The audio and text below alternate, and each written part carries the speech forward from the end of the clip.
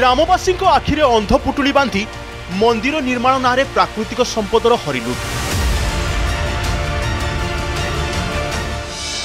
ଦିବା ଲୋକରେ ପାହାଡ଼ କାଟି ମାଲେମାଲ ହେଉଛନ୍ତି ମାଫିଆ।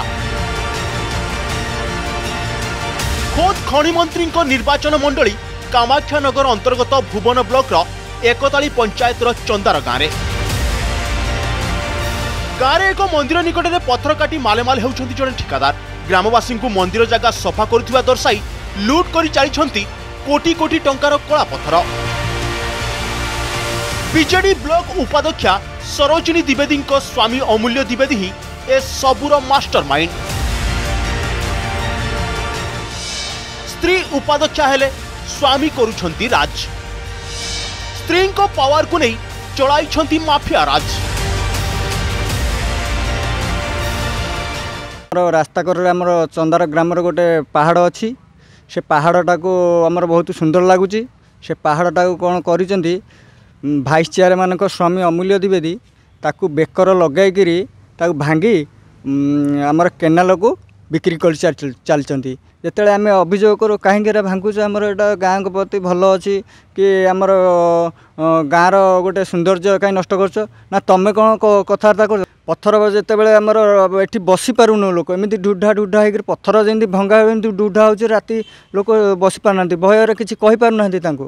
ଏ ତହସିଲଦାରକୁ ଫୋନ୍ କଲେ ବି ତହସିଲଦାର ଫୋନ୍ ଉଠାଉନାହାନ୍ତି। ସେଠୁ ତହସିଲଦାର ତ ଯେ- ଯେତେବେଳେ ଯେ ଆସୁଛନ୍ତି ସେ ଇନଫର୍ମ କରିଦେଉଛନ୍ତି ଯେ ସେ ଗାଡ଼ି ଫାଡ଼ି ସବୁ ନେଉଛନ୍ତି ଖାଲି ଭଙ୍ଗା ପଥର ସବୁ ଥୁଆ ହେଇଛି ତାକୁ ଦେଖିକିରି ଆସୁଛନ୍ତି।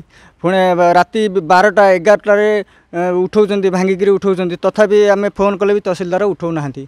କିନ୍ତୁ ଆମେ ଏଇଟାକୁ କେମିତି ବନ୍ଦ ହେବ କେମିତି ଆମର ସବୁ ଆମର କେମିତି ଗାଁ ଶାନ୍ତି ପାଇବ ସେଇଟା ଆମର ଦରକାର।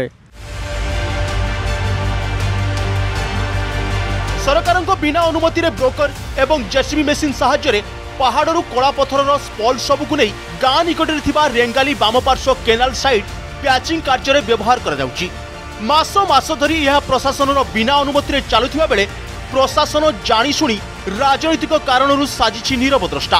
ପ୍ରଶାସନକୁ ଖବର ଜଣାଇବା ପରେ ମଧ୍ୟ ଲୁଟ୍ ତେଣୁ ପ୍ରଶାସନ ଏବଂ ପଥର ମାଫିଆଙ୍କ ସହ ମଧୁଚନ୍ଦ୍ରିକା ନାହିଁ ତ? ଖୋଦ୍ ଖଣି ମନ୍ତ୍ରୀ ଏଥିରେ ସମ୍ପୃକ୍ତ ନାହାନ୍ତି ତ? ପନ୍ଦର ଦିନ ହେବ ରୀତିମତ ଭାବେ ଜାରି ରହିଛି ଲୁଟ୍। ସରକାର ଏଥିପ୍ରତି ଦୃଷ୍ଟି ନ ଦେଲେ ପଥର ମାଫିଆମାନେ ଆଗକୁ ଆହୁରି ପାହାଡ଼ ସଫା କରିଦେବେ। ତହସିଲ ଅଫିସ ଆମେ ଆସିଛୁ। ତହସିଲ ସାର୍ ଯେ ସାର୍ ଅଛନ୍ତି ସେମାନେ ବି ଯାଇଛନ୍ତି ଜାଗା ଉପରକୁ। ସେ ଯିବା ସମୟରେ ଯେତିକି ଆମର ବ୍ରେକର ମେସିନ୍ ସାହାଯ୍ୟରେ ଯେଉଁ ଖଳି ଖଣି କାଟନ୍ତି ସେ ସେ ସବୁକୁ ସେମାନେ ଲୁଚେଇ ଦିଅନ୍ତି। ସେମାନେ ରିଟର୍ଣ୍ଣ ଆସନ୍ତି ହେରି। ସେଥିପାଇଁ ଆମେ ବହୁତ ଗ୍ରାମ ଲୋକ ବିରୋଧ କରିଛୁ। ସାର୍ ଏସବୁ ଭୁବନ ବ୍ଲକର ଭାଇସ୍ ଚେୟାରମ୍ୟାନ୍ ତାଙ୍କର ସ୍ୱାମୀ ଅମୂଲ୍ୟ ଦ୍ୱିବେଦୀ ଏଥିରେ ସାମିଲ ଅଛନ୍ତି ଆଉ ସହଯୋଗ କରୁଛନ୍ତି। ସ୍ୱଚ୍ଛ ଏବଂ ନିର୍ମଳ ଶାସନର ନାରା ଦେଉଥିବା ରାଜ୍ୟ ସରକାର ଭୁବନରେ ହେଉଥିବା ବେଆଇନ ଖଣି ଖାଦାନ ଲୁଟ୍ ଉପରେ ନଜର ଦେବେ କି? ରୋକ ଲଗାଇବେ କି?